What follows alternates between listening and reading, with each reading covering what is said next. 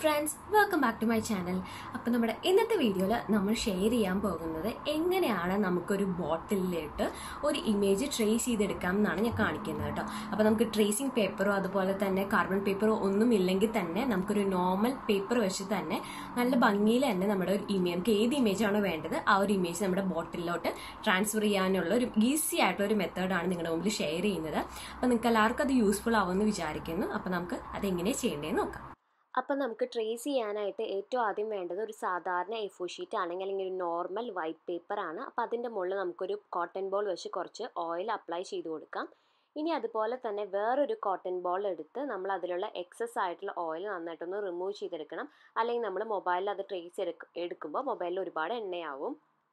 അടുത്തതായിട്ട് നമുക്ക് ചെയ്യേണ്ടത് നമ്മൾ ഏത് ഇമേജ് ആണോ ട്രേസ് ചെയ്തെടുക്കാൻ ഉദ്ദേശിക്കുന്നത് ആ ഒരു ഇമേജ് നമ്മുടെ മൊബൈലിൽ ഡൗൺലോഡ് ചെയ്തെടുക്കുക. എന്നിട്ട് നമ്മുടെ മൊബൈലിന്റെ ബ്രൈറ്റ്നസ് നന്നായിട്ട് കൂട്ടി വയ്ക്കുക അത് വേണമെങ്കിൽ നിങ്ങൾക്ക് ആ ഒരു ഇമേജ് വാൾപേപ്പർ ആയിട്ട് സെറ്റ് ചെയ്യാം. അപ്പോൾ നമ്മൾ ട്രേസ് ചെയ്തെടുക്കുമ്പോൾ ആ ഇമേജ് ഇങ്ങനെ നീങ്ങിപ്പോവില്ല. അപ്പോൾ ഇനി നമ്മൾ ചെയ്യേണ്ടത് ആ മൊബൈലിൽ ആ ഒരു ഇമേജ് എടുത്ത് വെച്ചതിന് ശേഷം നമ്മൾ നേരത്തെ എണ്ണയൊക്കെ അപ്ലൈ ചെയ്ത് വെച്ച ആ പേപ്പർ അതിന്റെ മുകളിൽ വെക്കുക അതിനുശേഷം ഒരു പോയിന്റഡ് ആയിട്ടുള്ള ഒരു പേനയോ അല്ലെങ്കിൽ ഒരു പെൻസിലോ ഉപയോഗിച്ച് നമുക്ക് ആ ഒരു ഇമേജ് ട്രേസ് ചെയ്തെടുക്കാം.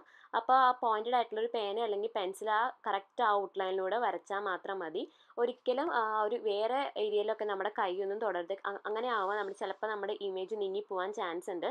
ചില സമയത്ത് ലൈറ്റൊക്കെ ഓഫ് ആയി അപ്പോൾ പതുക്കെ ഒന്ന് ആ സ്ക്രീനിലൊന്ന് ടച്ച് ചെയ്ത് കൊടുക്കുക എന്നിട്ട് ഏറ്റവും പ്രഷർ ആ ഒരു പോയിന്റഡ് ടിപ്പിൽ മാത്രം കൊടുത്ത് കറക്റ്റായിട്ട് അതൊന്ന് വരച്ചെടുക്കുക. അപ്പോൾ ഇങ്ങനെ ചെയ്താൽ നമുക്ക് കറക്റ്റായിട്ട് ട്രേസ് ചെയ്തെടുക്കാൻ പറ്റും. അപ്പോൾ ദേ നമ്മൾ ഇമേജ് ദേ ട്രേസ് ചെയ്ത് എടുത്തിട്ടുണ്ട്. ഇനി നമുക്ക് ചെയ്യേണ്ട ഒരു കാര്യം എന്താണെന്ന് വെച്ചാൽ ആ ഒരു പേപ്പർ ഒന്ന് തിരിച്ച് വെക്കുക. അതിന്റെ ബാക്ക് സൈഡിൽ ഒരു നോർമൽ പെൻസിൽ സാധാരണ ഒരു ലെഡ് പെൻസിൽ എടുത്തതിന് ശേഷം അതിന്റെ ബാക്കിൽ നന്നായിട്ടൊന്ന് കളർ ചെയ്ത് കൊടുക്കുക. നമ്മൾ ഏതൊക്കെ ഭാഗത്ത് നമ്മുടെ ഔട്ട്ലൈൻ വരുന്നുണ്ടോ ആ ഭാഗമൊക്കെ നന്നായിട്ട് ഫുൾ ഫില്ല് ചെയ്യുന്ന രീതിയിൽ നന്നായിട്ട് കളർ ചെയ്ത് കൊടുക്കുക. അപ്പോൾ ഈ രീതിയിലാണ് നമ്മൾ ട്രേസ് ചെയ്തെടുക്കുന്നത്. അപ്പോൾ ഇങ്ങനെ ചെയ്യുമ്പോൾ നമുക്ക് കാർബൺ പേപ്പറിന്റെ ഒന്നും ആവശ്യമില്ല.